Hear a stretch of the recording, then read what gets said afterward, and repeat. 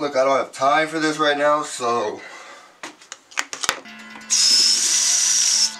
Your toothpaste has been replaced with the semen of a kid.